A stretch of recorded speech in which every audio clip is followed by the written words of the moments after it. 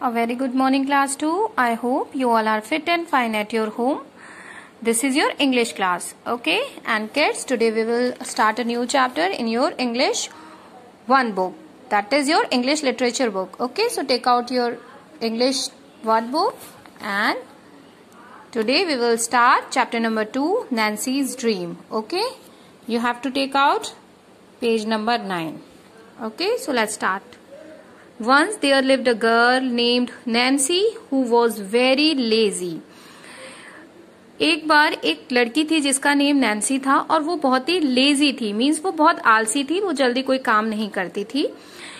She never reached school on time और वो कभी भी अपने स्कूल सही टाइम पर नहीं पहुँचती थी। क्यों नहीं पहुँचती थी? Because she was very lazy because she always woke up late in the morning क्योंकि ये जो नैन्सी थी ये हमेशा मॉर्निंग में देर से उठती थी, इसीलिए उसको स्कूल जाने में लेट हो जाता था।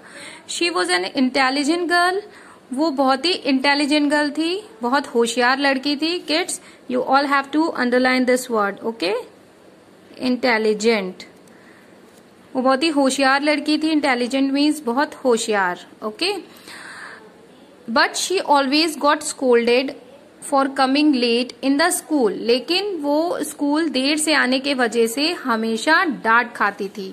स्कोल्डेड मीन्स डांट, डांटना okay so you all have to underline this word also Nancy was very excited Nancy बहुत ही एक्साइटेड थी, बहुत उत्तेजित थी। एक्साइटेड मीन्स उत्तेजित, क्यों थी? As her seventh birthday was very near क्योंकि उसका जो बर्थडे था, जो इस बार वो सेवेंथ बर्थडे सेलिब्रेट करेगी ओके जो उसका बर्थडे था, वो बहुत करीब था, आने वाला था उसका birthday everyone was busy in her home और बट क्या था कि सब लोग अपने घरों में बहुत बिज़ी थे।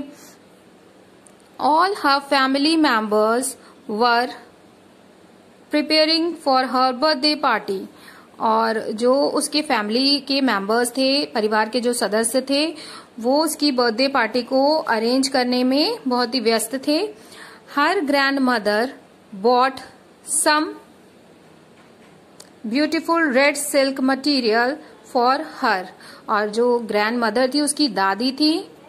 Kids underline this word grandmother उसकी जो दादी थी, उन्होंने उसके लिए एक सिल्क, रेड सिल्क कपड़ा लिया, जो कि बहुत ही सुंदर था, okay?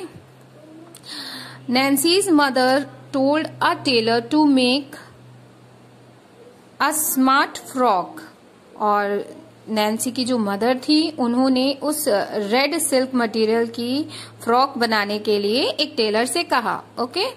Nancy sent invitations to all her friends और नैन्सी ने अपने सारे फ्रेंड्स को इनविटेशन दे दिया। किड्स इनविटेशन में अंडरलाइन करिए। इनविटेशन मीन्स निमंत्रण। नैन्सी ने अपने सारे फ्रेंड्स को अपनी बर्थडे के लिए इनवाइट किया। Father ordered the baker to make a Babi doll birthday cake for his lovely daughter और जो नैन्सी के फादर थे, उन्होंने अपनी प्यारी सी बेटे की बर्थडे के केक के लिए एक बाबी डॉल की शेप का केक का ऑर्डर दिया okay finally the big day came और फाइनली वो दिन आ गया जिस दिन नैन्सी का बर्थडे था okay Nancy woke up and she was again late for the for her school और नैन्सी उठी, लेकिन फिर से एक बार वो अपने स्कूल पहुँचने में लेट हो गई। Teacher scolded Nancy on her special day और जब वो अपने स्कूल पहुँचने में लेट हो गई तो उसकी जो टीचर थी, उन्होंने उसके स्पेशल डे पर भी उसको डांट दिया।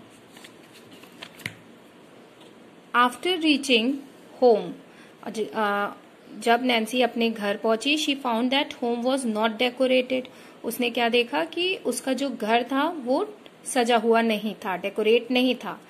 Kids underline this word also okay she asked her grandmother about it और जब उसने देखा कि उसका घर डेकोरेट नहीं था तो उसने अपनी ग्रैंड मदर से पूछा। She said sorry for being late उसने क्या कहा? उसने अपने लेट होने के लिए उनसे सॉरी कहा। Nancy the servant come late so we could not decorate the party room और उनकी ग्रैंड मदर ने नैन्सी से कहा, क्योंकि सर्वर सर्वेंट जो है वो लेट में आए, इस वजह से उसका पार्टी रूम डेकोरेट नहीं हो पाया. Nancy with a sad face came to her room to get ready for the party और जब उसने देखा कि उसका पार्टी रूम डेकोरेट नहीं था तो वो काफ़ी सैड हो गई और अपने सैड फेस के संग अपने रूम में गई पार्टी के लिए रेडी होने के लिए। Because her friends were about to come on her birthday और जब वो तैयार हो, उसने जब देखा कि पार्टी रूम डेकोरेट नहीं है, तब भी वो रेडी होने गई क्योंकि उसके फ्रेंड्स के आने का टाइम हो रहा था। She was excited for her new dress और वो काफ़ी एक्साइटेड थी अपनी न्यू ड्रेस के लिए, जो उसकी दादी ग्रैंड मदर ने रेड सिल्क क्लोथ दिया था, उसकी मदर ने उसकी न्यू फ्रॉक ऑर्डर की थी टेलर को दी थी सिलने के लिए। तो उस उस फ्रॉक के लिए काफ़ी एक्साइटेड थी Nancy she asked for it to her mother और उस रेड फ्रॉक के लिए उसने अपनी मदर से पूछा.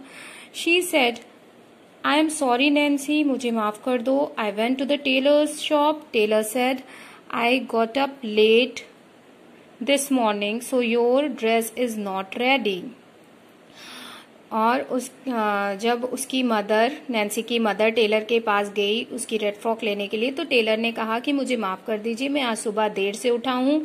इस वजह से वो ड्रेस रेडी नहीं हो पाई। नैन्सी बिकेम अपसेट और नैन्सी ने जब ये बात सुनी तो वो फिर से दुखी हो गई।